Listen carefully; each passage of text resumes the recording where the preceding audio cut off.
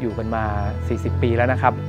อยู่ตั้งแต่รุ่นคุณพ่อผมนะครับแล้วก็ปัจจุบันเป็นรุ่นผม แล้วก็มีรุ่นหลานแล้วเรียบร้อยหลานก็โต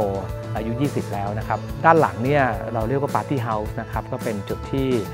คุณพ่อผมสร้างให้ผมเนี่ยชวนเพื่อนๆมาสังสรรค์กันนะครับวันนี้ก็ส่งต่อไปให้รุ่นหลานแล้วเพราะผมก็ปรับปรุงนะครับรีโนเวทใหม่มาให้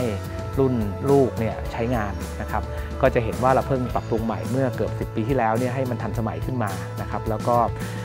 ได้รับความกรุณาจากสถาปนิกเขาออกแบบใหม่ให้ดูทันสมัยรวมทั้งทำให้พื้นที่เนี่ยในปาร์ตี้เฮาส์ในปาร์ตี้รูมเนี่ยมันต่อขยายมารอบสระน้ำด้วยนะครับแล้วก็ได้รับการแนะนำให้ใช้วัสดุที่ดูเหมือนกลมกลืนกันทั้งส่วนของสระน้ำแล้วก็ส่วนของในบ้านครับ เดิมเนี่ยรอบสระน้ำเนี่ยในสมัยโบราณเราก็ใช้กระเบื้องปูนะครับ ซึ่งผลยุคหนึ่งแล้วเนี่ยผมว่ากระเบื้องมันก็ดูแข็ง แล้วก็อาจจะดูไม่ไม่ให้ความรู้สึกอบอุ่นเหมือนไม่โฮมมี่เหมือนบ้านนะครับเพราะฉะนั้นการใช้ไม้เนี่ยก็เป็นจุดที่ได้รับคำแนะนำเยอะว่าควรจะไปใช้ไม้ แต่เราก็ทราบดีอยู่ว่าไม้เนี่ยหาไม่ง่ายนะครับแล้วการดูแลรักษาเนี่ยยากมากนะครับ ในที่สุดสถาปนิกก็แนะนำให้ใช้ไม้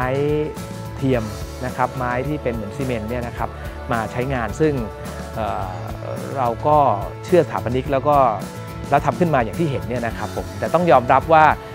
ชุดของเฌอร่าชุดปัจจุบันเนี่ยนะครับเป็นชุดที่ 2 แล้วนะครับหมายความว่าชุดแรกเนี่ยไม่ใช่ของเฌอร่า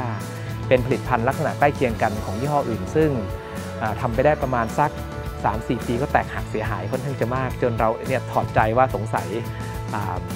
ไม้เทียมแบบนี้คงจะไม่ workครับ แต่ก็สุดท้ายมาได้รับบริการจากเฌอร่า ซึ่งทำให้เราเปลี่ยนใจกลับมาใช้วัสดุเช่นเดียวกันนี้ แล้วก็ค่อนข้างจะ happy มากหลังจากที่ปูเสร็จเรียบร้อยอย่างที่เห็นนะครับพื้น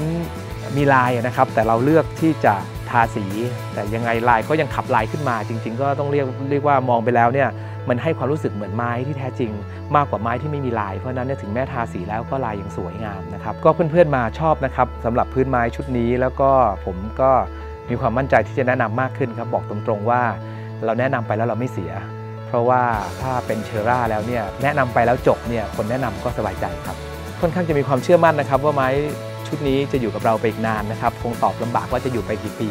นะครับแต่ว่าชุดเดิมที่เป็นของบริษัทอื่นเนี่ยเขาอยู่กับเราแค่ 2-3 ปีก็จากเราไปนะครับแต่ว่าด้วยการแก้ปัญหาตั้งแต่ต้นเนี่ยเราเชื่อว่าผมเนี่ยลงมาลุยปัญหาตั้งแต่ คือมาดูปัญหา โครงสร้างเดิม แล้วก็พอมาคิดว่าปัญหาโครงสร้างที่แก้ไขแล้วเนี่ยสร้างความมั่นใจครับนะครับแล้วก็เชื่อมั่นว่าต้องระยะใหญ่ ๆ ทีเดียวนะครับอาจจะเรียกอะไรครับอยากจะอยากตกแต่งใหม่ก่อนที่จะเสียหายด้วยซ้ำ